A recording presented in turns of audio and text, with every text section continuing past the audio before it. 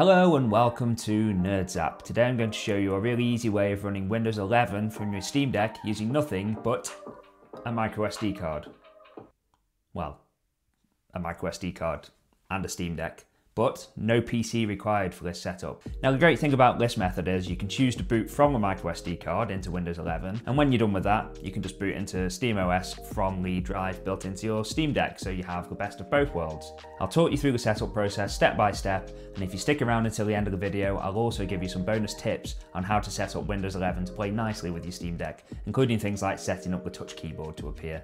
So let's kick things off by booting into desktop mode. If you haven't already set up a super user password on your Steam Deck, you'll need to set one. You can do this from the user menu or by running passwd in the console.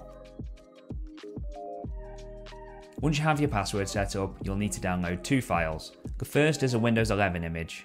Downloads from archive.org can be a bit slow, so I'll try to include an alternative link in the description. The next file you need to download is a piece of software called Etcher. You can download it from the link on screen. Click download Etcher and be sure to select the Linux 64-bit version of the software. Once you have these two files, make sure that the microSD card that you want to use is in your Steam Deck. It's important to note at this point that this process will overwrite everything on your microSD card, so make sure you have a backup if there's anything important on there. Run Etcher and choose the option to flash from file. Select the Windows 11 image that we downloaded earlier and click continue to this message. Choose select target and then select the option to show hidden drives. Make sure you select your SD card. You may be able to tell this from the capacity, or if you're not sure, make sure it matches the location shown on screen. Choose next and then select the option to flash. Enter your super user password, select OK, and the flash process will begin. How long this takes will depend on the type of SD card you have and what speeds it's rated for. Once the flashing process is completed, you should get some messages that look like this. Shut down your Steam Deck and we'll move on to the next steps. Hold the volume down button and the power button, then release them at the same time to bring up the Steam Deck's boot menu.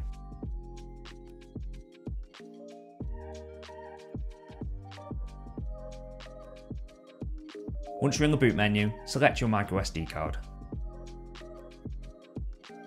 At this point, Windows 11 will finish setting itself up on the microSD card.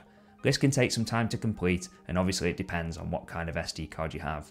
You may find it reboots several times during this process too, just be patient, it will complete. If all goes well, you should find yourself in the Windows 11 out-of-box experience. You've probably noticed at this point that the screen orientation is set to portrait. Don't worry about this, we'll sort it out later. Just run through the setup wizard and we'll pick back up once we're on the Windows desktop. Now Windows is loaded, the first thing we need to do is to change the screen orientation. If you can plug in a mouse at this point I'd recommend it, but it can be done using just the Steam Deck. Right click the desktop and choose display settings.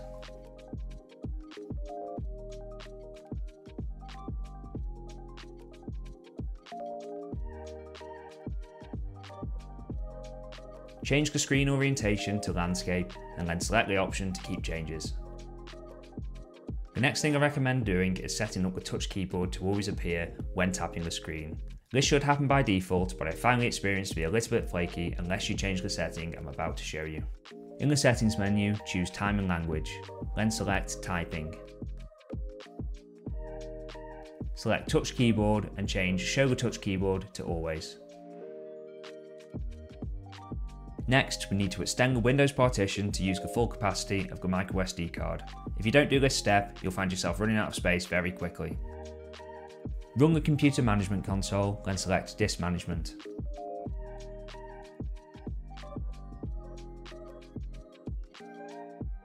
Right click the Windows 11 partition and choose extend volume. Just run through the wizard using the default options and you should find that it extends to use the full space. Disk 0 is your internal Steam Deck drive, best not to change any settings here. As you can see, the Windows 11 partition is now extended. Next, you'll need to download the Windows Steam Deck drivers from the Steam website. You can find them at this link which I'll leave in the description. Be sure to download the correct drivers for your Steam Deck model. All of the drivers downloaded will be contained within zip files, extract these first before installing. You'll find that the installation process for installing these drivers is a little bit inconsistent.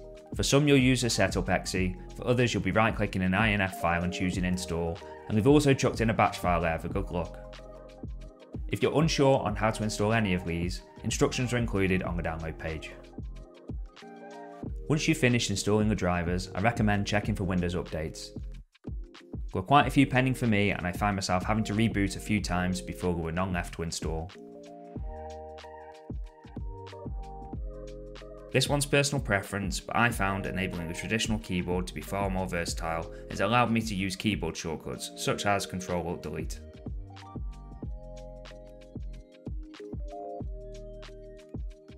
We're all done, so what you do now is up to you. Personally, I keep this microSD card in my Steam Deck case and swap it out whenever I need to run Windows. If you found this video helpful, a thumbs up would be really appreciated, and for all things nerdy, please consider subscribing. Thanks for watching and I'll see you next time.